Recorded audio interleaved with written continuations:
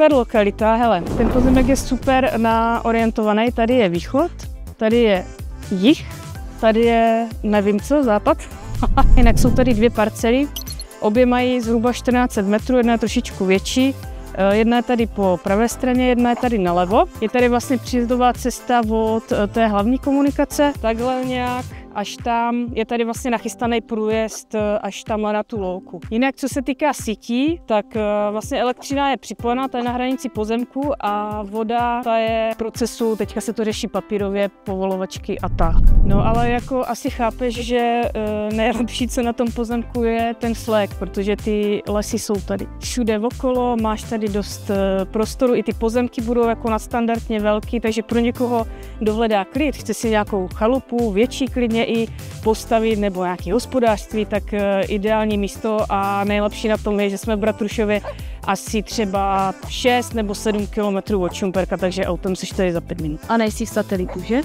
A nejsi v satelitu pěkně uprostřed staré zástavby. Tady dřív byla nějaká louka, pastvina, něco podobného. Takže tady vidíš, že těch sousedů je minimum. Určitě to má potenciál a já věřím, že někdo s tím vymyslí něco úplně skvělého.